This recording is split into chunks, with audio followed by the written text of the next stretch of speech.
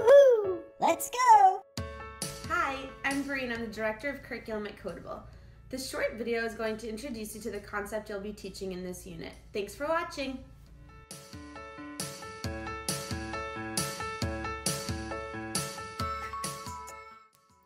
Variables store information or values in a program. There are different types of variables that are used in different situations. There are strings, integers, and arrays. We've learned now that strings are variables which hold values that are groups of characters, like a word or a phrase, while integers store values that are numbers, like 5, 50, or 500.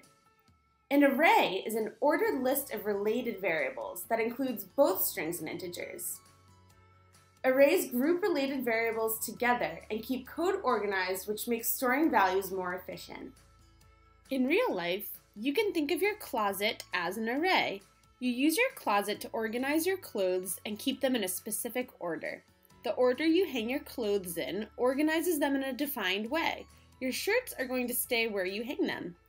Let's say on Sunday night you're planning your outfits for Monday, Tuesday, and Wednesday.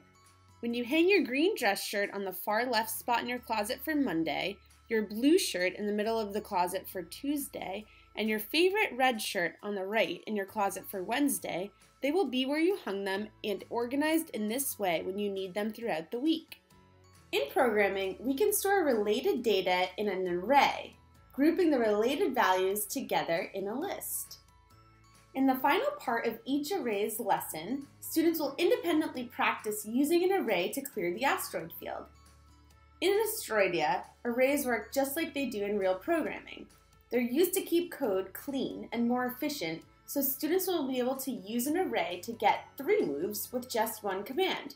This will allow students to solve some of the lessons using just one move. In this lesson, the colors represent string variables. There are six different values used here, red, pink, yellow, green, blue, and purple. I need to correctly order my list of variables to be able to clear the asteroid field when I match the values.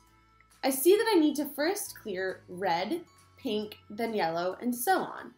I ordered the values in my array this way so that I can successfully clear the asteroid field by matching the values from my command bin with the values in the field. Let's think a little bit more about how arrays are actually used in programming. Think about Kodable, for example.